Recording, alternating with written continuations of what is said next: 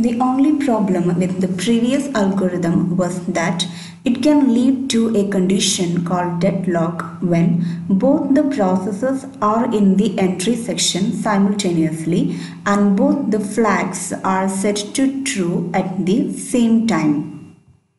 Thus, this algorithm with the flag variables is combined with the algorithm 1 with the turn variable and a new algorithm 3 had been designed which is also called Peterson's solution. Here we use both the flag variables as well as the turn variable and it works like this. If both the flags are set to false similar to the previous algorithm if both the flags are set to false it means none of the processes is wishing to enter the critical section. Then if any one flag is set to true, it means the corresponding process wishes to enter the critical section and that process can enter the critical section. Now the problem occurs when both the flags are set to true. In previous algorithm, when both the flags are set to true, there arises a confusion regarding which process should enter the critical section next. As a result, each process will wait for the other process and both of them get blocked leading to deadlock. Here come the significance of turn variable. Since this is a single global variable which is shared by both the processes and it can have only two values either 0 or 1. Thus even if both the flags are set to true, the value of turn will be either 0 or 1. Depending on this value, if both the flags are set to true, must check the value of turn variable. Depending on what is the value of turn variable, one of the process will continue with its critical section. Thus, the processes will never get blocked and the deadlock situation is avoided.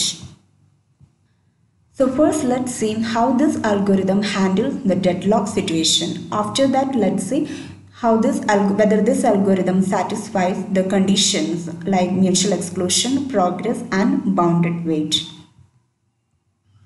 Now this is the entry section code for P0. If P0 wishes to enter the critical section, it will set its flag to true. This flag of 0 becomes true.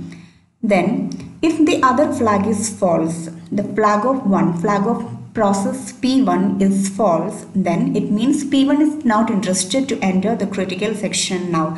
Thus P0 will be able to enter the critical section directly. It works like this a previous algorithm.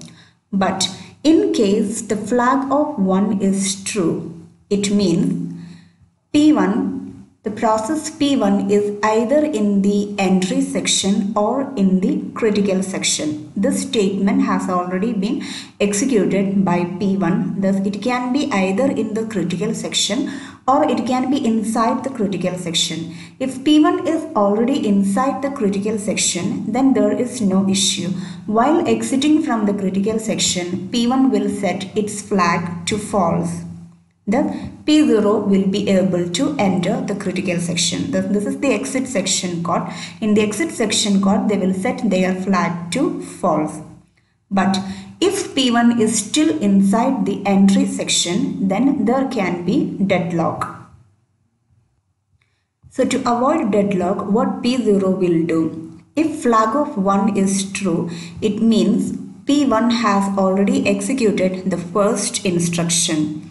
And in case P1 has also executed the second instruction, the update on the turn variable prior to P0, then let P1 continue with the critical section first. For that, P0 will give a turn to P1 and will just wait in the while loop. Means after setting its flag to true, P0 will give a turn to P1 by assigning value 1 to turn. Now it checks the flag variable and the turn variable. If the flag variable is true and the value of turn is still 1, it means this, in, this statement is the last update on the turn variable. So before that update, if some update is performed by P1 on the turn variable, then it means P1 has crossed the second instruction first. The let P1 continue with the critical section first. For that P0 will just wait in the while loop. And if P0 has crossed this instruction first, then the chance will again come back to P0 and P0 will be the first process to enter the critical section. Let's see with some examples. Consider this sample sequence. P0 needs to enter the critical section. So it will set it flag to true. Now flag of 0 is true. Then it will execute the next instruction turn equals 1.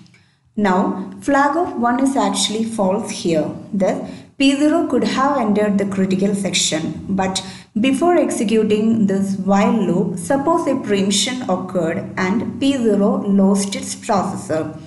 Thus P1 gained the processor and now P1 is also wishing to enter the critical section. Thus P1 will set its flag to true. Hence flag of 1 is also true. Thus both the flags are set to true at the same time. Now P1 will give a turn to the process P0. It will assign value 0 to the turn Assuming that if before this update some update is done by P0, it means P0 has crossed this instruction prior to P1. Then let P0 continue with this critical section. Thus P1 will check the flag, flag is true and the value of turn is still 0. It means this is the last update on turn variable. Thus P1 will wait there without moving to the critical section. After some time, again preemption will occur and P0 will regain the processor. Now P0 will execute the while loop. Flag of 1 is true but the value of turn is 0. The P0 will be able to enter the critical section first. It means P0 had crossed this instruction or P0 had performed the update on turn variable first. So whichever process crossed this instruction first will be able to enter the critical section first. In other words, we can say the process which performs the last update on the turn variable will wait there and let the other process continue with the critical section first.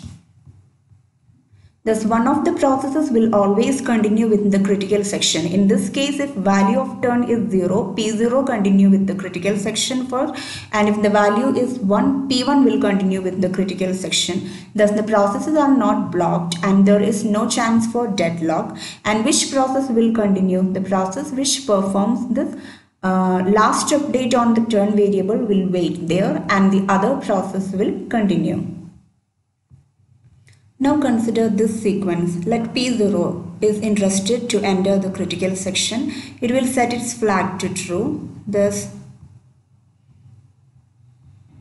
flag of 0 becomes true. But before executing the next instruction, here itself the processor got preempted and P0 lost its processor. Now P1 gained the processor and P1 is also interested to enter the critical section. Thus it will set its flag to true. Thus both the flags are set to true and then P1 will execute the next instruction. It will assign turn value to 0. Now P1 without entering the critical section it will check the flag. The flag of 0 is true and since turn equals 0 it means the last update on turn variable is performed by P1 itself. Thus P1 will assume that if P0 had already done an update on turn let it continue. But in this case actually P1 has done the update first. Thus P1 should continue with the critical section but for the time being, P1 will wait in this while loop. After some time, preemption, again preemption will occur and P0 will gain the processor. Now P0 will resume the execution at this point by giving the value of turn to 1. Now turn equals 1 and since flag is true and turn equals 1 it means the last update on turn is performed by P0 thus P0 will never enter the critical section. It will wait in the while loop. After some time again preemption will occur and P1 will regain the processor now it will continue with the while loop but the value of turn is now 1. Thus P1 will be able to enter the critical section.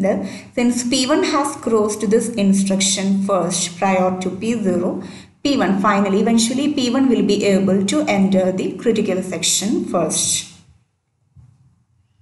Finally, consider one more sequence. Let P1 wishes to enter the critical section now. Thus, flag of 1 is set to true then it will execute the next instruction also thus the value of turn equal 0 it will give a turn to the process p0 but before executing the while statement the processor got preempted now p0 will continue and p0 needs to enter the critical section. Thus flag of 0 is also true and then the value of turn is now 1. Now P0 will execute the while statement. Flag of 1 is true and the value of turn is 1. It means this is the last update on the turn variable. Thus P0 will wait there. After some time the processor will get preempted. P1 will resume the execution at the while loop and here the flag of 0 is true but the turn value is 1 thus P1 will be able to enter the critical section. Since P1 crossed this instruction first it will be able to enter the critical section. Thus the process which performs the last update on the turn variable will wait there and the other process which uh, performed the update prior to it will continue with the critical section first.